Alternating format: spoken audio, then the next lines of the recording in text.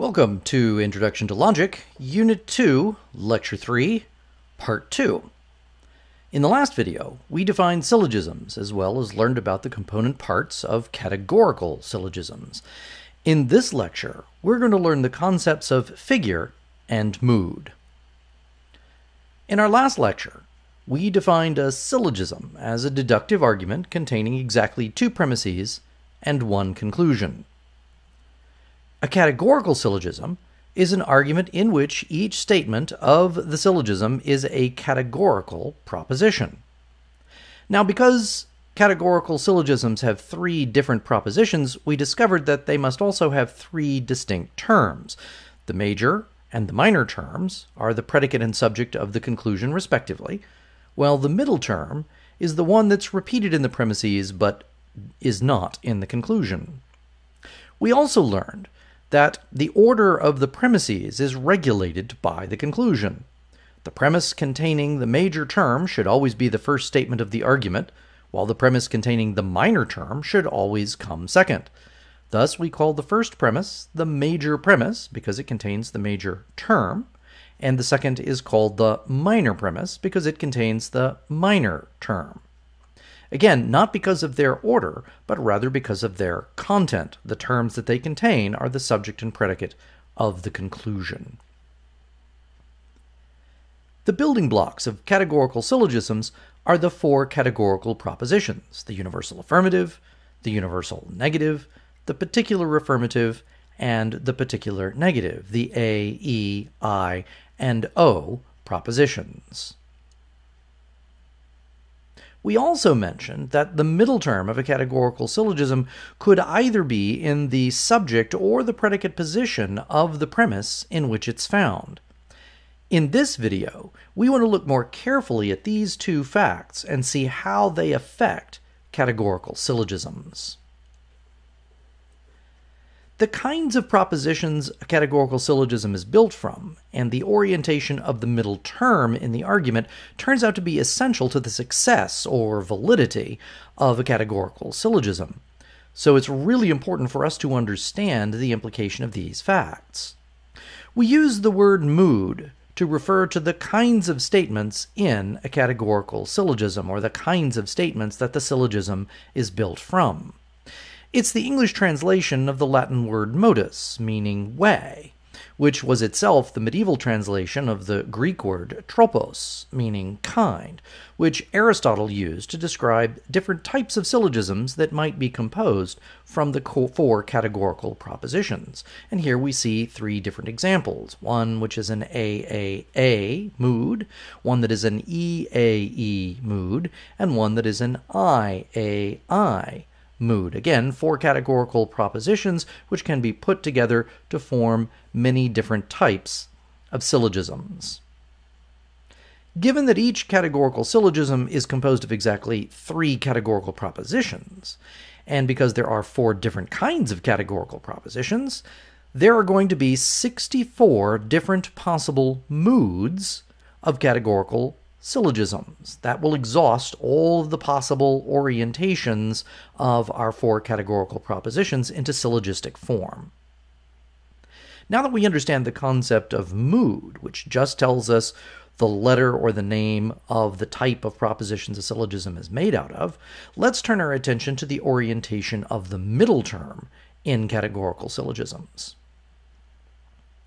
We use the word figure to refer to the orientation of the middle term in the major and minor premises of a categorical syllogism.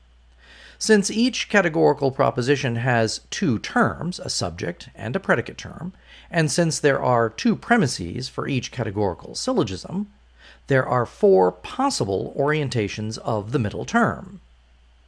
We label a categorical syllogism as being in Figure 1 if the middle term is in the subject position of the major premise and the predicate position of the minor premise, as we see in this argument.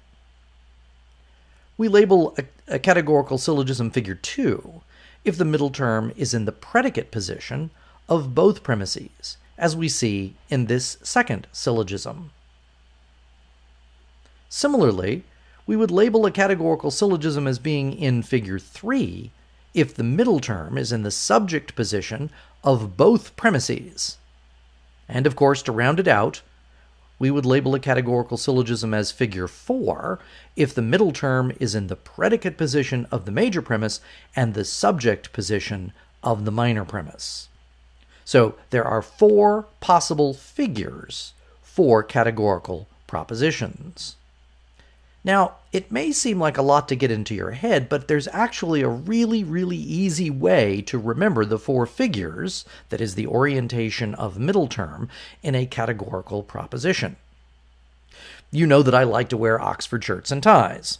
I know they're ridiculous things in the grand scheme of things, but we all have a little bit of vanity. Well, we can actually use an Oxford shirt or a button down shirt more specifically, the shape of the collar of a button down shirt, as a reminder for the possible orientations of middle terms.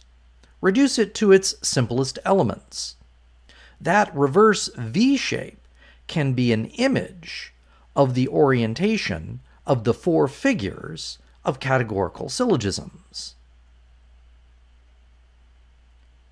In figure one, again, we see the middle term is in the subject position of the major premise, while it's in the predicate position of the minor premise. In figure two, the middle term is in the predicate position of both. In figure three, we move the middle term over to the subject position of both. And in figure four, the middle term is in the predicate position of the major premise and the subject position of the minor premise. So if we lay them out in this form, we see our little shirt, shirt color. Now, of course, only a small fragment of these argument forms, that is, the moods and figures that we can put together, are going to turn out to be valid arguments, but we're going to talk more about that in the next video. For now, it's just important for us to learn the concept of mood, what kinds of propositions an argument is composed of, and the figure, the orientation of the middle term in a particular syllogism. Given that we've got four figures for a categorical syllogism, and we've got 64 possible moods, we're going to end up with 256 possible categorical syllogisms that we could build. Again, only a very small fragment of these syllogisms are going to turn out to be valid syllogisms, and we're going to focus on that, or that's going to be the concentration of our next video. But this shows us all of the possible ways in which one could form a categorical syllogism. Okay, here's what we've covered so far. We've learned what a categorical syllogism is, as well as the parts, that is, the major, minor, and middle terms, along with the major and minor premises of categorical syllogisms. In this video, we've introduced two new concepts. We've learned how the kinds of propositions used in a syllogism compose its mood. And we've also learned how the orientation of the middle term is going to determine its figure. So next time, we're going to put all of this together and we're going to be thinking about what it is that makes a categorical syllogism valid, that is, that the conclusion follows necessarily from the premises, or invalid, what goes wrong in the orientation of the propositions or the middle term to cause that argument to be invalid. We'll also use Venn diagrams to help us to demonstrate and to visualize the validity or invalidity of various possible categorical syllogisms. So, we'll see you next time